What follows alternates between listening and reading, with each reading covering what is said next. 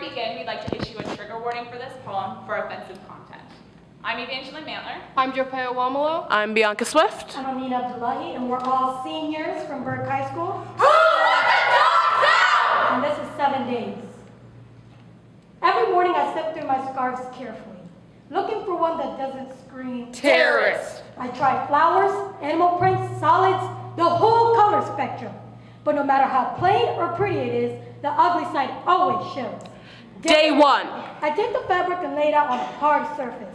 ugly side up. Do you wash your hair? Do you even have hair? I'd love not to have to do mine in the morning. Imagine the amount of time saved. No one wants to confront the ugly. Better to hide it. Behind curtains of false smiles and facades of helpful hints. Day two, Maybe I'll take it from one hand and fold it three fourths down. Fold it halfway down and you'll look dangerous. Angry, rabid, foaming at the mouth, ready to take out as many people as you can. And all the way down, and you'll seem extreme, intimidating, looking for any reason to pull out a weapon. and careful, don't fold it a quarter way down, you might look oppressed. As if the fabric of your hijab has suppressed your inner voice, we see your scarf and ignore the rest, but I digress. Oh, honey, were you forced to wear that at gunpoint? You have a bomb under there? Day three, Maybe I'll try grabbing it from the top and holding it behind my head. Not the front. Someone can mistake it for a burqa. like the mistake the DMV made when they said, miss, take it off. Day four, Well, what if I take both ends and wire them together with a safety pin? Will that make us safe again?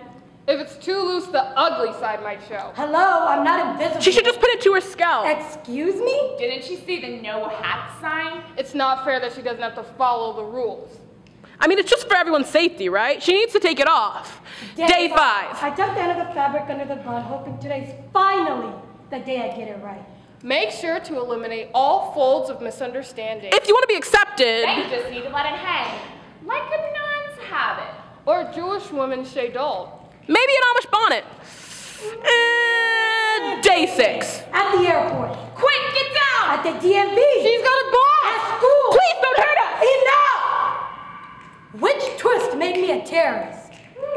The same fold that made you voiceless. The same crease that made you dangerous. The same wrapping that made you oppressed. The truth is, none of these versions will be seen as right. There's no way to eliminate. Stereotypes. Xenophobia, fear. So why am I trying? Day seven, realize these steps don't work. Realize your identity doesn't depend on other people's opinion of you. Realize, You don't have to hide yourself for the comfort of others. realize. That there's only one thing you can do.